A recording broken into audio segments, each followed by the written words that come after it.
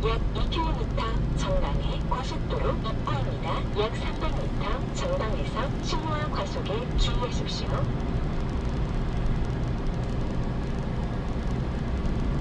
잠시 후 신호와 과속에 주의하십시오.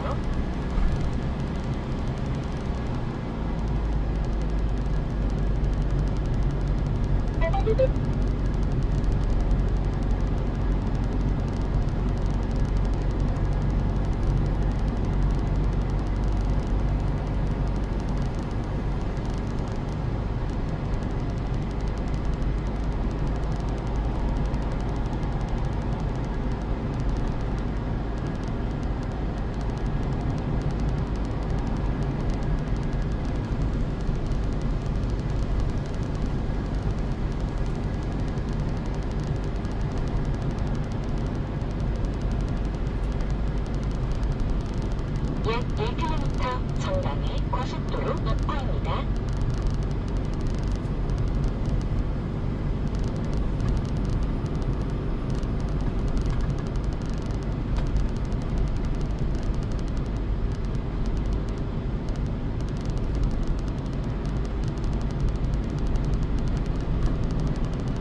약 600m 정방의 KMRC 방면으로 고속도로 입구입니다.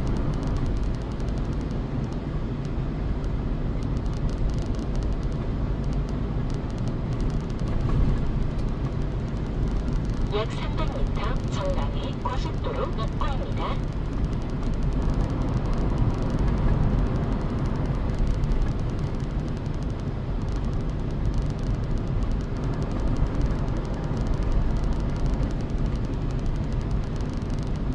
잠시 후 KMRC 방면으로 고속도로 입구입니다. 이어서 톨게이트입니다. 하이패스 차선은 좌측부터 1, 2 차로입니다.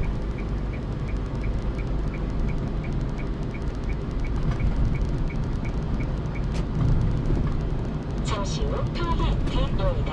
이어서 좌측 방향입니다. 잠시 후 서울 대전 방상철이 좌측 방향입니다. 잔액은 20.